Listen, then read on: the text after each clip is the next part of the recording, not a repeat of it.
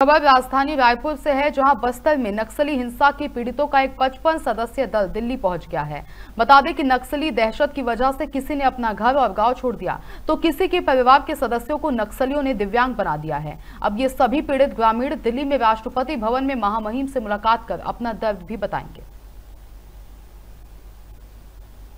आपको बता दें कि नक्सली हिंसा के पीड़ितों का दल दिल्ली के लिए रवाना हुआ था, जिसके बाद अब वो सभी दिल्ली पहुँच गए हैं। साथ ही आपको बता दें कि जिस तरीके से नक्सलियों के हिंसे बढ़ गए हैं और लगातार उसमें देखा जाता है कि काफ़ी लोग दिव्यांग हो गए हैं और लगातार उनकी जान की जोखिम का जो खतरा है, वो भी मंडराता रहता है। अब अपना दुख बताने के लिए सभी नक्सली हिंसा के जो पीड़ित हैं, वो दिल्ली पहुँच गए हैं और वहाँ राष्ट्रपति महामहिम से मुलाकात करेंगे और साथ ही अपना दुख, दर्द उनके साथ साझा करेंगे।